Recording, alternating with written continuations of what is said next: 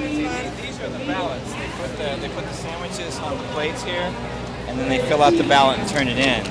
So they vote on taste. Uh, is it awesome or nasty?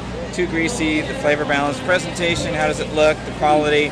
Museum quality. That's funny. Uh, Westonality means is this special? Would you take it home to your parents? Is it inspirational? Or is it too really really cheesy? And then the spaz is the weirdness factor. So those are all the different ways that the, the sandwiches are judged.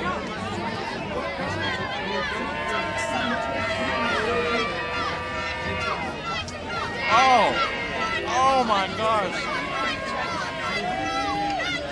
This has cheese that was made by Belgian Trappist monks and walnut and I don't even know what all's on this. It's like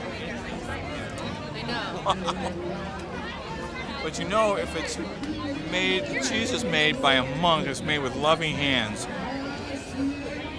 People sitting around just with love on their minds while they're making it.